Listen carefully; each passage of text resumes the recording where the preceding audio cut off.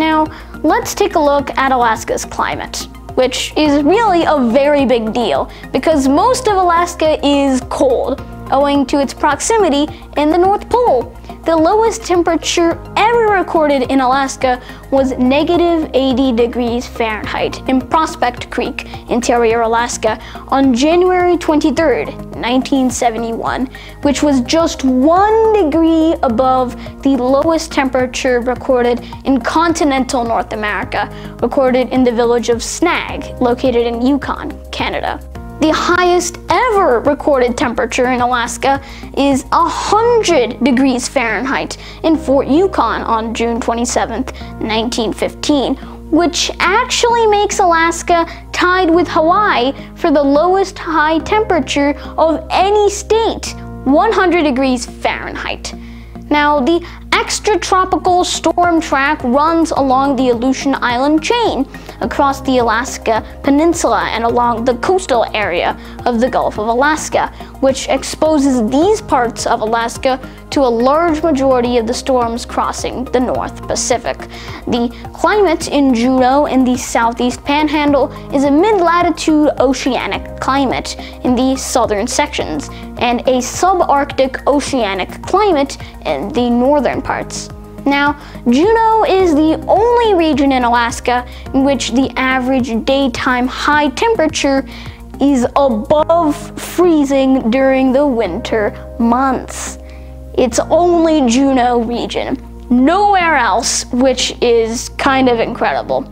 Now, South Central Alaska, including Anchorage, has a mild climate compared to much of Alaska due to its proximity to the seacoast. The interior of Alaska has extreme temperatures of the highest and lowest recorded temperatures that I have mentioned earlier.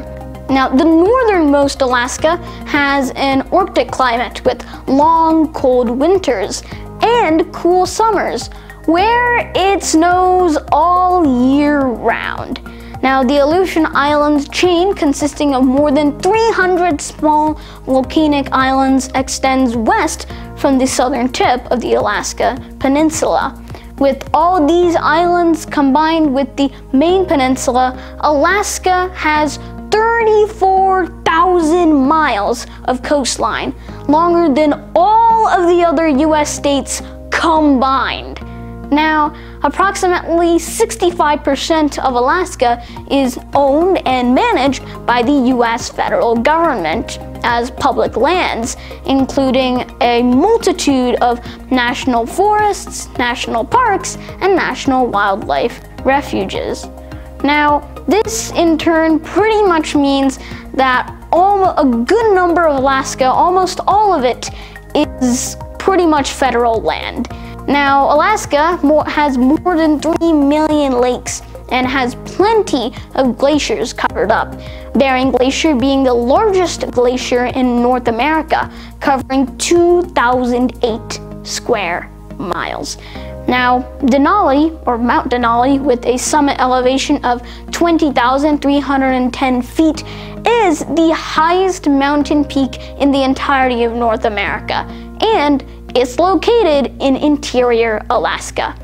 And hunting, fishing, and dog mushing are the common recreational events in Alaska.